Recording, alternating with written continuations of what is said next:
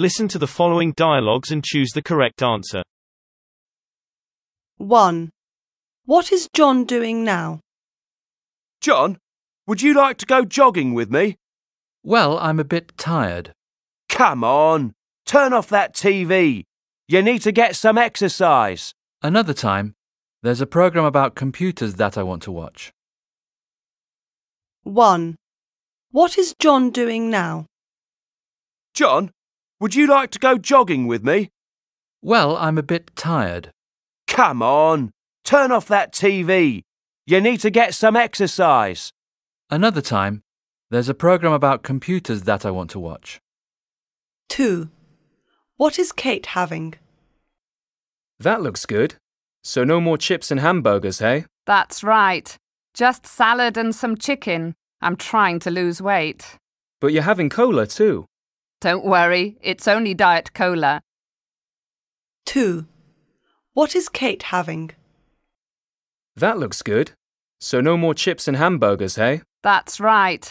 Just salad and some chicken. I'm trying to lose weight. But you're having cola too. Don't worry, it's only Diet Cola. 3. When is the exam? Oh, I'm so stressed out. The maths exam is on Friday and I'm not ready. That's okay. It's only Monday. You have five more days. Yes, I know, but my best friend's arriving from Madrid on Thursday. We're spending the day together. Well, just relax and do your best. I'm sure you'll be fine. 3. When is the exam? Oh, I'm so stressed out. The maths exam is on Friday and I'm not ready. That's okay. It's only Monday. You have five more days.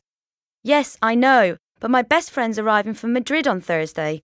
We're spending the day together. Well, just relax and do your best. I'm sure you'll be fine. 4. What's wrong with Anne?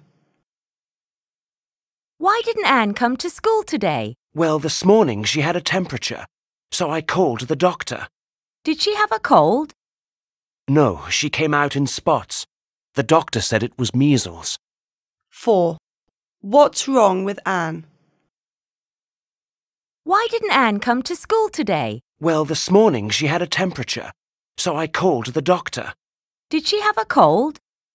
No, she came out in spots. The doctor said it was measles.